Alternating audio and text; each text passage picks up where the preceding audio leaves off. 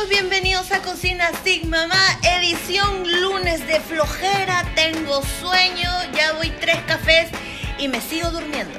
Tienes nuevo por aquí, bienvenido seas, puedes suscribirte, compartir la página, cocinar juntos, compárteme lo que cocines y nada, pues esta cocina está on fire. No he estado durmiendo últimamente bien, tú sabes, pues no es la vida loca, sí, la juerga, las aventuras.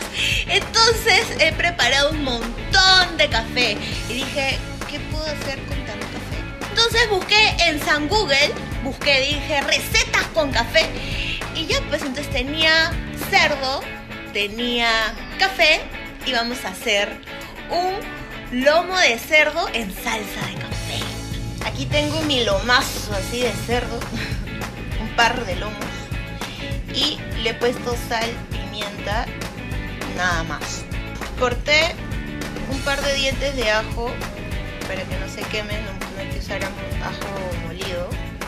Y con un buen trozo de mantequilla derretida vamos a sellar el lomo. Y así se va dorando, pues, ¿no? Dorado Beyoncé. No lo vamos a dorar. Serán dos minutos, tres minutos por lado será, a fuego alto retiramos el doradete y vamos a hacer caramelo, caramelo, no me quites mi caramelo. Acá hay dos cucharadas de azúcar rubia. Esto lo estoy haciendo a fuego bajo porque tenemos que tener mucho cuidado que Con amor, a fuego lento me haces agua. Contigo tengo el enamorada. Todo lo estoy haciendo en la misma sartén donde doré el cerdo. Acá viene lo que te gusta medio shot de ron, amigos. Se vaya el alcohol. Y acá tengo mi café pasado, recontra cargado. He echado una taza de café pasado. Le puedes echar, el expreso para que todos convulsionen. y le estoy dando vuelta para disolver el caramelo con el café. O sea, eso estoy en en la parte del alcohol, si no tienes ron, le puedes meter coñac, pero el ron es más accesible, ¿no? Es tu juerga, pues lo que te ha sobrado, eso le avientas. y luego vamos a regresar las carnes para que se terminen de cocinar. A fuego lento. Ando volteando el cerdo como para que todo tenga la salsa por encima y por abajo. Fuego bajo, fuego bajo. Tápalo nomás, tápalo toda esta carne necesita su guarnición. Le puedes poner un puré, le puedes poner, no sé, su camote. Pero yo elegí arroz y verduritas. Yo tengo arroz que me ha sobrado de ayer. Y he cortado espárragos en diagonal. Y también he sancochado mi choclito. Voy a poner un poquito de aceite vegetal. Le vamos a poner los espárragos. Y vamos a saltearlos.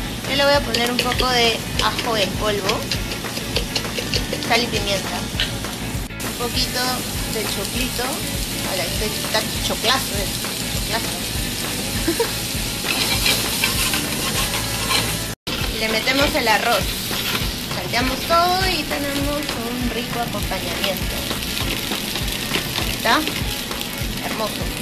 Han pasado sus 15 minutos y le vamos a poner chorrito de, de crema de leche para que agarre su consistencia. Pues. Otra forma de espesar mucho más la salsa, le puedes agregar un poco de maicena disuelta en agua fría y la echas y se va a espesar al toque. Amigos, Dios. Amigos, estoy shook. me pasé, me pasé. ¿Sabes qué? Yo me retiro, me retiro. Escúchame, estoy impactada. ¿Dónde está esta receta y por qué nunca me la habían dado? Y espero que te haya gustado la receta, en verdad está increíble. Por favor, tienen que hacerla, me van, me van a amar. Me van a amar. Ya, ya no sé qué hago diseñando. Vamos a abrir el food track. Acompáñala con lo que quieras, con tu papa, con tu camote, con tu ensalada, con tus verduritas, con lo que tú quieras. Este arrocito le va muy bien, pero tú decides. Está bueno como para almuerzo, también para una cenita, así, ¿no? Con tu velita, con tu vinito. ¡Oh! Y nada, nos vemos pronto.